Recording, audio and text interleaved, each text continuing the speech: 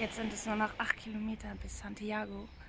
Und hier war bei der Kapelle die Pilgerauskunft schon mal gewesen. Ähm, ja.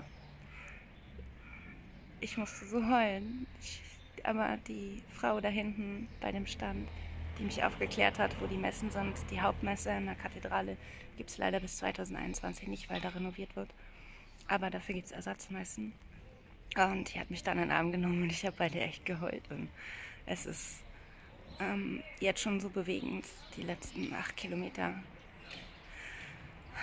Oh, ich bin so berührt und glücklich. Echt glücklich.